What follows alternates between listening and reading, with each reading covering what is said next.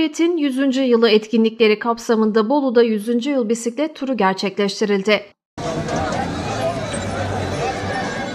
Bolu İl Milli Eğitim Müdürlüğü ile Gençlik ve Spor İl Müdürlüğü tarafından Cumhuriyet'in 100. yıl etkinlikleri kapsamında öğrenciler, sporcular ve vatandaşların katılımıyla il merkezinde bisiklet turu yapıldı. Bisiklet turu öncesinde konuşan İl Milli Eğitim Müdürü Doktor Cemil Sarıcı, Cumhuriyet'in 100. yılının önemli bir adım olduğuna işaret etti. 100. yıl önemli bir adım. Hem 100 yılı geri, geride bırakmış olmak hem de Türkiye 100 yılına başlıyor olmak heyecan verici bir duygu bu.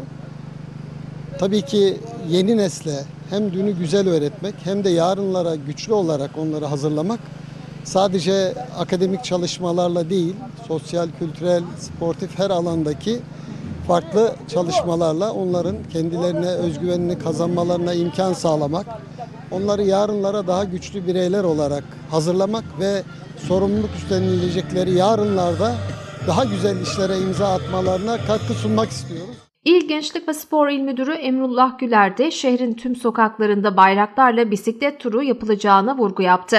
Bizim için çok özel bir yıl. Cumhuriyetimizin, şanlı Cumhuriyetimizin 100. yılında coşkulu bir kutlama programı var valimiz himayelerinde. Bizler de Sayın Valimizin himayesinde kurumlar olarak işbirliği içerisinde çok büyük organizasyonlar yapmak istedik. Ee, bugün bunlardan birine şahit olmaktasınız. Herkes çok coşkulu, çok gururlu ve bu gururunu faaliyetlere yansıtarak bütün halka doyurmaya çalışıyor.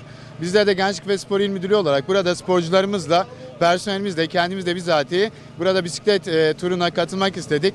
Destek veriyoruz. E, bütün şehrin sokaklarında, her yerinde bayraklarımızla bisikletlilerimiz e, bir e, bisiklet turu yapacaklar. E, gururluyuz. E, Cumhuriyetimiz var olsun. E, nice nice yüzyıllara diyorum. Bolu Valiliği önünden başlayan bisiklet turu İzzet Baysal Caddesi, Uğur Mumcu Parkı, Şehit Kani Caddesi, Tahvil Mehmet Paşa Caddesi, Ertuğrul Sokak, Konurap Caddesi ve Atatürk Bulvarı'nda devam etti. Yaklaşık 500 kişi 4 kilometre boyunca pedal çevirdikten sonra turu Anıt Park'ta tamamladı.